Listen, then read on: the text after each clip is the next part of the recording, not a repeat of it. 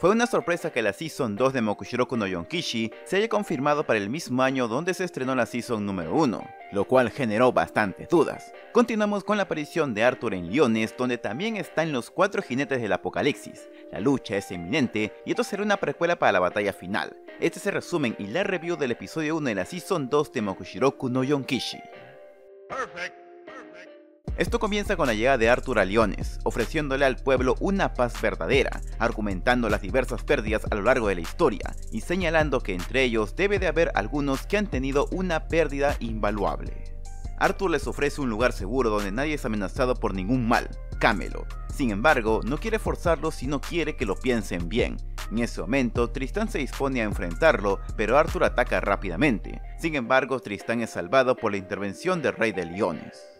Arthur concluye que para forjar la paz de la humanidad, las demás razas deben de ser erradicadas. Incluso le hace recordar que Meliodas le dijo en el pasado que un hombre no debe retractarse de su juramento, pero Meliodas le hace recordar también que le dijo que si llega a desviarse del camino, los siete pecados lo detendrán. Sin embargo, Arthur reafirma que está muy despierto. Ante eso, Meliodas ataca directamente y las montañas son divididas. Por su parte, Tristán también ataca, pero Arthur logra defenderse con mucha facilidad. Ante esto, Meliodas ataca con su oscuridad, y Arthur se cuestiona cómo la oscuridad puede lastimarlo. En el aire, Tristán está molesto con su padre mientras su poder oscuro se está saliendo de control. Arthur aprovecha para decirle que solo está estorbando a su padre, pero también Meliodas, ya que su reino está desprotegido por enfocarse en su hijo. Meliodas no comparte su ideal, y Arthur afirma que le falta decisión y ejecución, Ahora se prepara y ataca a Meliodas por la espalda, pero su ataque no conecta. Tristán se sale de control, pero con un ataque potente es neutralizado. Hace acto de presencia otro de los cuatro jinetes del apocalipsis, Lancelot. Gawain cree que no es rival para el rey, pero Lancelot le pide a Meliodas que no intervenga. Sorpresivamente Arthur es atacado directamente. Lancelot es veloz, pero Arthur se protege. El rey ataca, pero Lancelot lo esquiva. Su espada tiene la capacidad de regenerarse, pero Lancelot sigue siendo más veloz. En ese momento le pregunta por qué no regeneró el brazo con el poder del caos, a lo cual Arthur responde que esa herida es una autorrestricción personal. A Lancelot le da igual, con tal que no lo use como una excusa por la derrota. Arthur ataca frenéticamente pero Lancelot se impone una vez más. Tristán nos cuenta que Lancelot fue secuestrado hace 6 años, pero después de 3 años regresó a salvo, adquiriendo un poder aterrador, equivalente al de los 7 pecados. Lancelot ataca y conecta de lleno, pero Arthur logra golpearlo utilizando su brazo derecho, del cual brotan muchas criaturas. El caos protege a Arthur voluntariamente, por eso Lancelot no pudo prever su ataque. Meliodas se arrepiente de no haber erradicado el caos de Arthur hace 16 años. Ante las criaturas, Lancelot irá en serio y libera toda su magia, pero en el cielo aparece un enorme barco volador. Ahí dentro están los caballeros del caos de Camelot. Ironside le pide a su rey que regrese, ya que Arthur ha detectado la presencia de una fuerte intención de ataque proveniente de cuatro de los pecados capitales. Al ver el barco, algunos civiles quieren ir a Camelot. Arthur le pregunta a Ironside sobre su misión especial, pero en ese momento Lancelot atraviesa el pecho de Arthur. Finalmente Rey desaparece, contento porque ha obtenido resultados positivos. En ese momento declara la guerra a los cuatro jinetes del apocalipsis y a todos sus aliados. Llega el atardecer y los caballeros están salvando a los heridos. Más tarde, el escuadrón Percival está listo para descansar, pero Anne está molesta que algunos pobladores hayan querido ir a Camelot.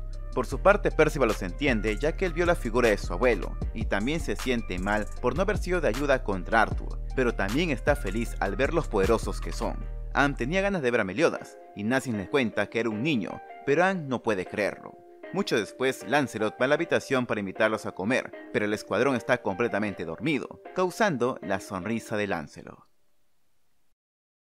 Como menciona al inicio, el hecho que la Season 2 haya anunciado su estreno al poco tiempo del final de la Season 1 causó mucha preocupación. Es normal pensar que al haber poco tiempo de espera, la producción esté comprometida, y esto se ejemplifique en problemas en la animación. Si bien la Season 1 ha sido comentado como una cuya animación no es la mejor, la cual genera que algunos tengan dudas sobre la animación de esta temporada, pero para mí la Season 1 me pareció normal. Creo que ayuda mucho al tener las expectativas bajas o simplemente no enfocarse mucho en ello y solo disfrutar y ya.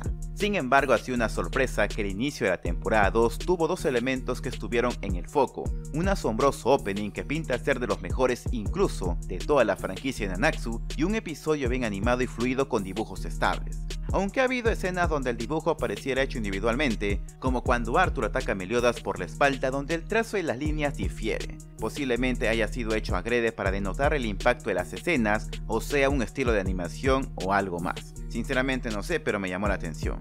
La cuestión que en general me ha gustado este episodio de entrada a una nueva temporada, y creo que ha sorprendido a muchos.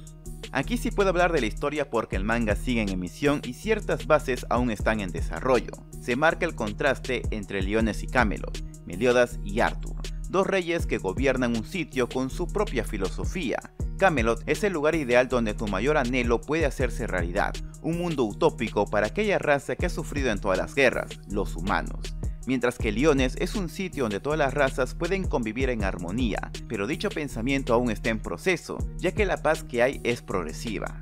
También tenemos a los reyes. Meliodas es alguien que protege a todos pero que también es padre, mientras que Arthur el pico de su mente es su nación.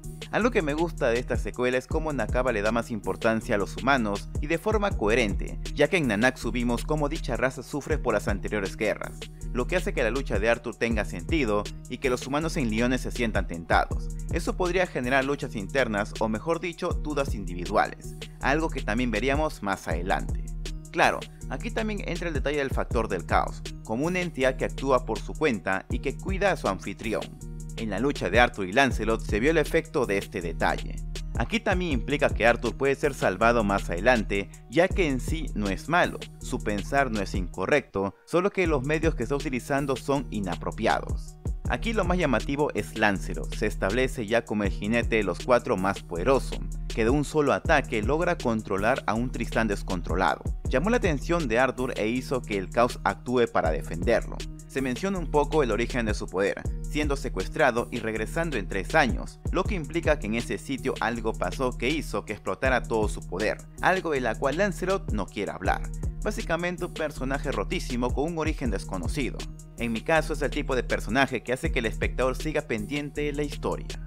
Para acabar, Arthur establece la guerra con los cuatro jinetes del apocalipsis y todos sus aliados. Esto sí es importante porque se vienen más cosas para adelante, como que Lance lo siga buscando un arma que soporte su poder, por algo lo vimos muy interesado en el arma de Arthur, o que aparezcan más caballeros del caos para pelear contra los jinetes. También mencionar la misión que le dio Arthur a Ironside. Dicho elemento es crucial para el futuro de dicho conflicto, y para un suceso que actualmente en el manga impacta a uno de los cuatro caballeros del apocalipsis. Más bien, si ven el opening tendrán muchas pistas. Muy bien señores, un exquisito primer episodio de Mokushiro no Yonkishi para abrir la segunda temporada, donde tendremos unos arcos muy buenos. No es por hacer spoiler, pero de verdad, a mí me encantaron. Ya estaré poniendo imágenes del opening que serán de antesala para lo que vendrá en esta temporada. Y si tienen ganas de saber más y no quieren esperar semana a semana, lean el manga, que no está nada mal. Por último, no te olvides comentar qué te ha parecido este vídeo, si alguno de los puntos que he mencionado te interesa o no, estaré leyendo. Les hago recordar que me pueden seguir por mis redes, tanto en Twitter donde suelo estar publicando constantemente, Instagram donde publico cositas más personales y en TikTok donde estoy subiendo diversas ediciones. También suelo hacer directos en el moradito, donde estamos viendo anime o leyendo manga, y quién sabe para más adelante más cositas.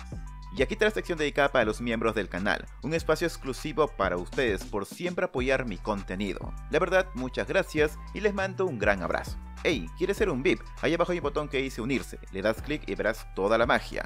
Emotes, insignias, contacto, exclusivas, privilegios, adelantos, superpoderes en los directos y mucho más. Entonces, ¿qué esperas? Ahora sí, con esto me despido, nos vemos en otro vídeo y recuerda siempre superar tus límites. Adiós.